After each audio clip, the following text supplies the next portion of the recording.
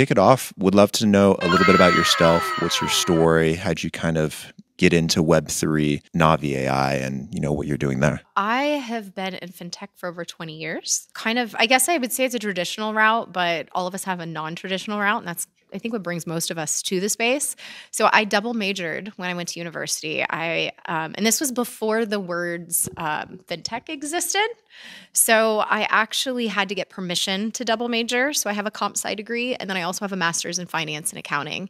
And my original plan was I was going to be a CPA, go the very tradfi route, you know, what everybody expected, and then I am not a fit in the box kind of gal. I'm very much a blow the box up kind of gal.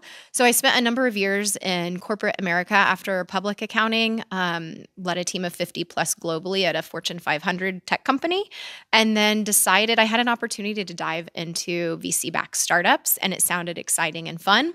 And as part of that, they had a couple of potential clients come on and they said, Hey, you know about this stuff called crypto because I was very involved personally. And I was like, Yeah, why? And so I basically led the charge to create a revenue vertical for them and built them out from zero to over 40 clients in just a handful of months. Then the first bear market happened, which they got very skittish about, understandably. And I decided, you know what, I'm going to go off on my own. So in the last few years, I have, um, in some capacity, worked with over 300 Web3 native companies. And in doing that through a financial services company, very quickly realized 100% of them have the same problems. And that is where the idea for Navi AI came from. So, what is Navi AI? What, what are you solving and what are their problems? 90% of startups fail. Doesn't matter what industry it's in, that's the stats. And when you look at the reason why, it's almost always knowledge, right? Startup founders have limited runways. Usually, early growth companies are bootstrapped. They're taking that funding and they're building. They're using it for dev, things to actually create their product to hopefully get it off the ground. But the problem with that is there's compliance regulation and finance that are vitally important to make sure that they not only properly utilize any funding they get, but that they have a chance to make sure that other areas don't fail their project.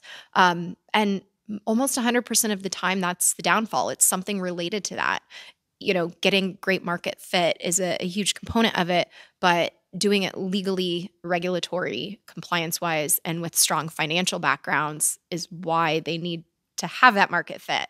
Uh, so we're looking to solve that. So we've created an AI enhanced social community. Uh, it's very Reddit style, if you will. You can go on as a founder. We're in a free beta right now.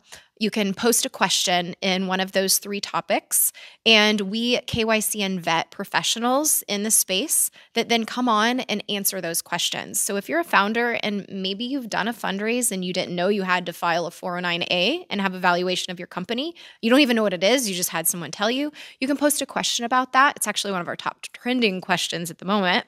And you can get an answer from someone who does know instead of having to go out and automatically engage with a company that you you don't have a relationship with at 500 plus an hour, you can look at the professionals that someone else has vetted and make sure that the resources and knowledge that you're gaining is trusted and what you actually need. And then once you build the relationship, then you can actually engage with those companies feeling a lot stronger because if you know they can support what you're doing.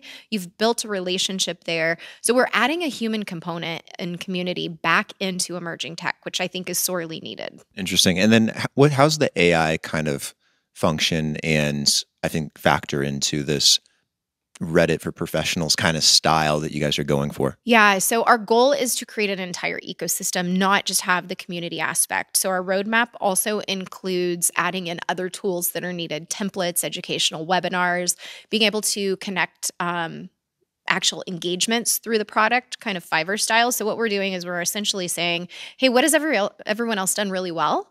And let's replicate that in a way that's beneficial for both the founders and the professionals. And AI has to be a part of that because if like it or not, um, depending on where you fall on that knowledge base, uh, it's here to stay. It's not going anywhere, right? And so rather than people feeling like they should just go to a chat GPT or a copilot or any other AI tool, what we are doing is we are essentially bringing it into the platform. Right now, we are only allowing it to be kind of a sit beside so it can help summarize answers, help you search the platform, basically do any of the things that a chat GPT can. But our long term goal is once we as a community have solved the issue of bias in AI and um, hallucination a little bit better within AI, we will have it folded more um, definitively into the product. We didn't want to do that from the beginning because we really wanted to make sure that that knowledge was a actual trusted vetted source that the user could feel good about and not basically just replicate what already exists. How do we go about solving some of those things with AI? Obviously, it's very early on. The onset of it has only been really a couple years, you know, in the mainstream and having these tools available to us and there are things like bias and incorrect information being pulled from wrong sources and things like that. But it's constantly getting better and better. Um, what, what do you think maybe is the solution to kind of getting it a little bit further ahead to where it needs to be, and then having it as that grandiose tool that we can use um, like with Navi AI? So I think the first thing we have to acknowledge is it's not going to happen overnight. I think everybody wants it to because emerging tech moves so quickly. But with AI, the leading voices behind OpenAI, um, with Google, all of these major brands that have a lot more resources to dive into with this have said it's it's going to be a while. Um, I think the biggest thing we can do is support, the projects that are trying to solve those issues. There's some wonderful projects working on specifically uh, hallucination and bias, and understanding how those data subsets create that bias and how further to take technology that exists now to solve it.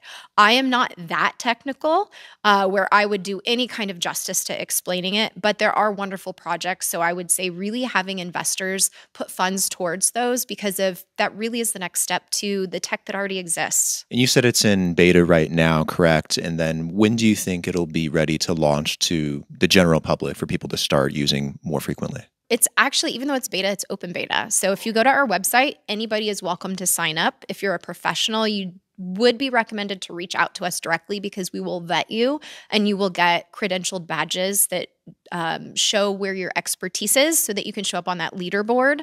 Um, our MVP goal is to launch by Q1 with more of the features that I talked about. Right now, uh, we're limiting it more to like the leaderboard and the community aspect because we really fully believe that community is at the heart of it.